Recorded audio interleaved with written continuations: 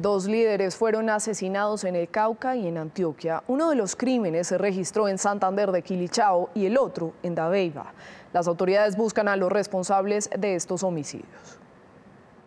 Hasta la vereda Lomitas del municipio de Santander de Quilichao, en el departamento del Cauca, llegaron hombres armados a bordo de motocicletas para asesinar a Edgar Quintero, integrante de la Guardia Cimarrona y reconocido líder social. Según la Asociación de Consejeros Comunitarios del Norte del Cauca, Quintero lideraba acciones de reparación colectiva y restitución de tierras en su comunidad y había sido víctima de amenazas contra su vida y extorsiones en repetidas ocasiones. Realmente ya eleva a 75 el número de líderes asesinados este año y un número de ellos muy grave en el norte del departamento del Cauca. En Dabeiba, Antioquia, fue asesinado el líder y profesor indígena Fernando Domicó. Hombres armados le dispararon cuando caminaba hacia su casa junto a su hijo de cinco años.